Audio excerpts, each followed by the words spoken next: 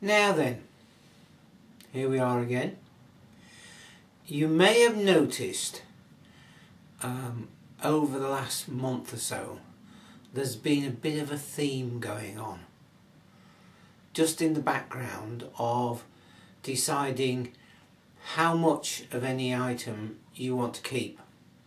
I mean you keep stuff because it's handy and it's there when you need it but um, there's a point where you've got to do stuff.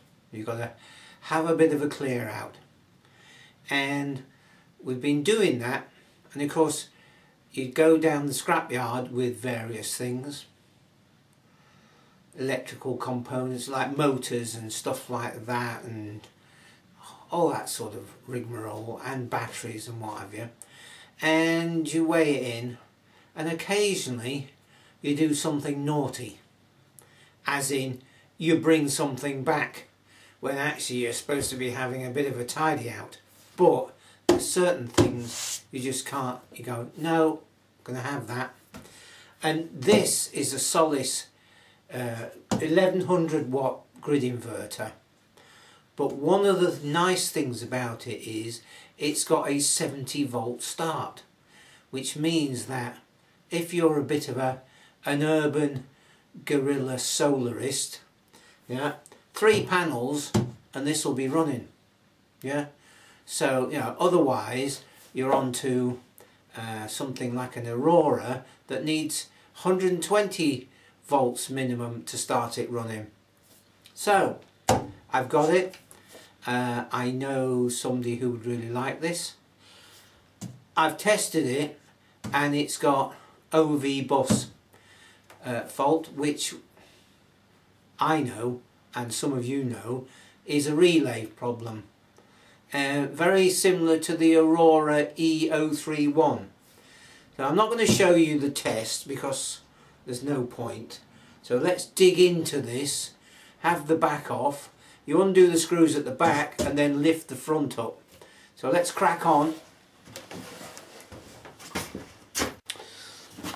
So Lee gave me this really nice lightweight impact driver. Yeah, and it's lithium. That's magic. It is lovely. And it came with a charge. I mean, what more do you want? Ideal for up here in the workshop. Undoing all these Torx screws So I'll get back to you in a minute. Okay, so that's that done. Just pop the seal. Right, I can't remember. I think it's the other way round.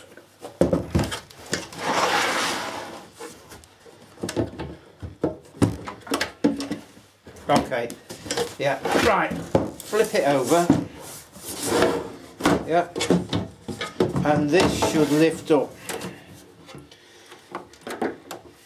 And if you really want to there's a ribbon there that you can remove. Okay. You can't see anything right? But there are four relays here. And let's just zoom down on that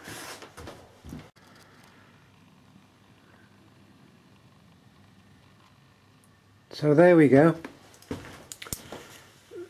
They look very familiar, don't they? Yeah. Uh, so let us, um, I think we'll have to disconnect one, two, three, four, five, six there. Okay, I'm just going to draw a quick plan of that. Undo all these lot and flip the board over. And I'm assuming, and it is a huge assumption, but one of the solder joints of these relays will have melted. Yeah so let me do that. And again I will get back to you at that point where we're going to lift the board. Okay. That's wedged up.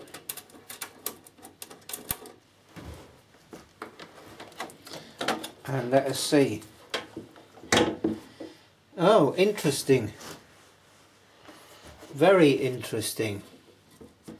Yeah. Ah, found it. Okay. I'll just move the camera a bit. Well, There we are. It's in this top left hand relay. Yeah.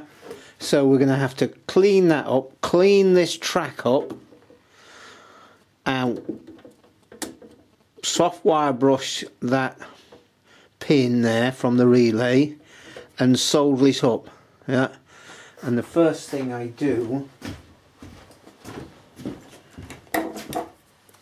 is actually scrape round there like that try and expose some of that copper track just so that you can extend the influence of the solder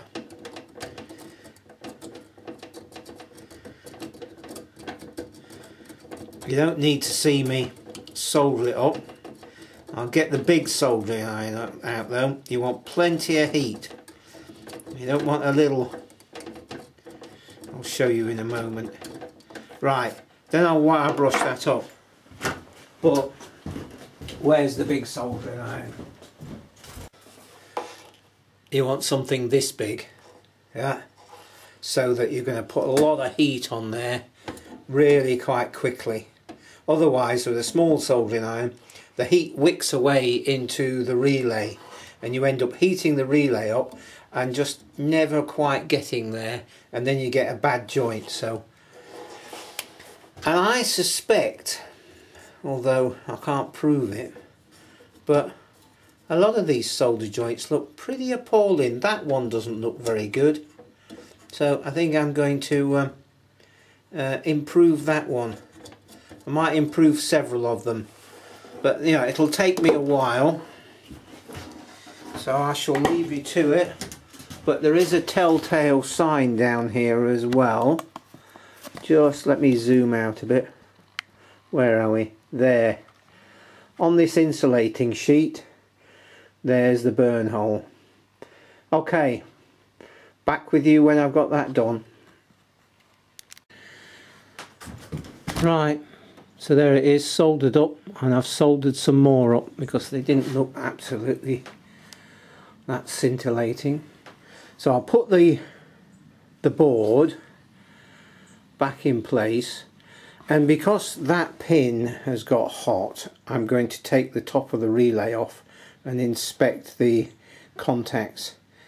Is it the joint that's caused the heat that may have transferred heat to the contacts or is it the contacts causing arcing because it's been switched off in the middle of the day too frequently because it's been mounted in somewhere very hot? Yeah I don't know but I'm just going to check those relay contacts for any signs of burning or not closing properly yeah it's a frequent fault so let's just um, carry on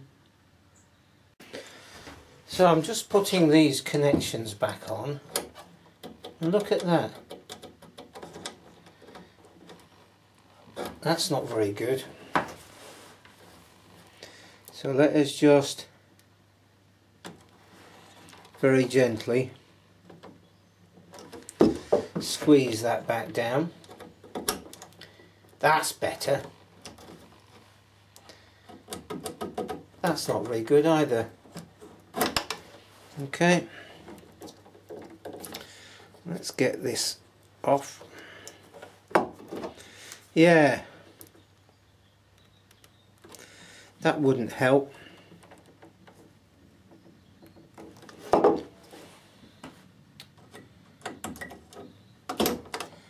Oh, that's better. That's not good. That's alright. That's, that's still not very good. These have got those locks on them.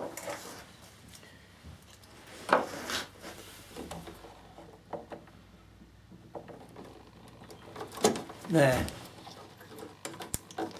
Still not No.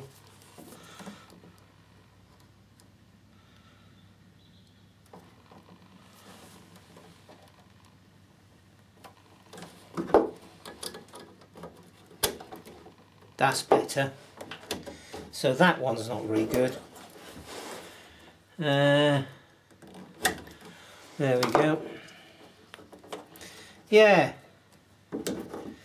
God, the quality of this is pretty abysmal, I'd say.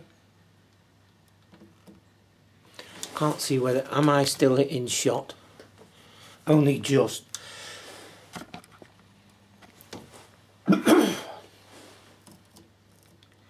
yeah, the quality of this is leaves a lot to be desired, put it like that.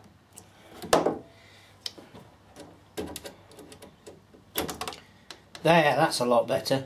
That one's alright, that one's alright, that one's good, that one's good, and that one's good. Excellent. From what I remember, this little white plug here is the temperature sensor. Yeah, so if that's unplugged on some, if you get an OV temp, you could unplug that. Yeah, right, I think we're virtually there. Right, I'll put this ribbon back on, put it back in there, put the top back on, and then we can give it a bit of a road test. I'm assuming we've fixed the problem. Ah, before I do that, I'm going to have the top off this relay and check the contacts. So I'll be back to you shortly. So here's the relay. You can see the contacts there contacts touching there is a little bit of spring but not a great deal. I'm just going to increase that a little bit. But I think it was a Duff solder joint not a bad relay.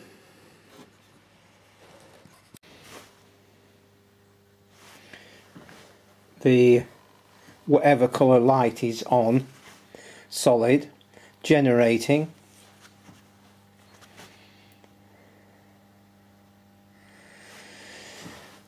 Okay. So let us go into information. Alright, DC, we've got 50 odd, 150 volts, so AC is 28, yeah.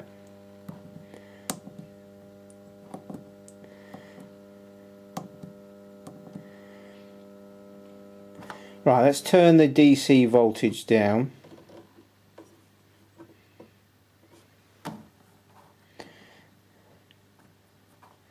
Says 0 watts still. Come on.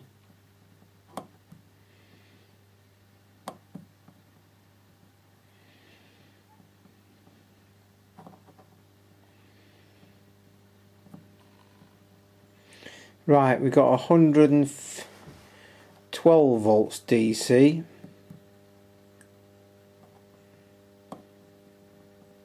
But it's still showing no no watts which is a bit weird.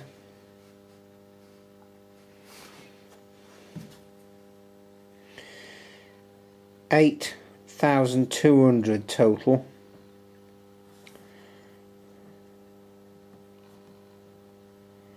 You can hear it humming though. We're on 80 volts now. Take it down a bit more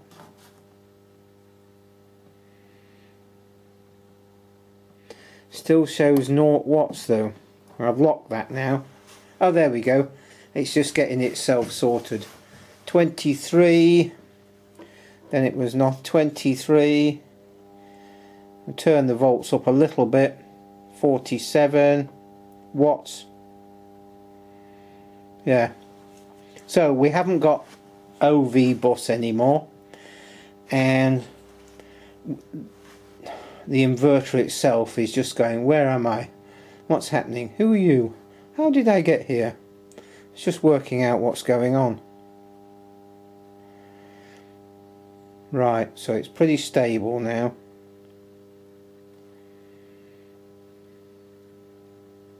And of course, we're working on a smoothed, rectified signal not a true DC signal. So we're bound to get some anomalies yeah because there's still going to be a little bit of a ripple even with that big capacitor in parallel with the rectifier. And if you want to know all about the, the, the test um, go and watch my recent video. I'll put a link yeah which shows all about the relays and this um, this testing equipment. But it's working now. Right comments discussion what have you? Yeah um, subscribe like um, donate um, etc catch up with you soon. Cheers. Bye. Just as an extra 23 watts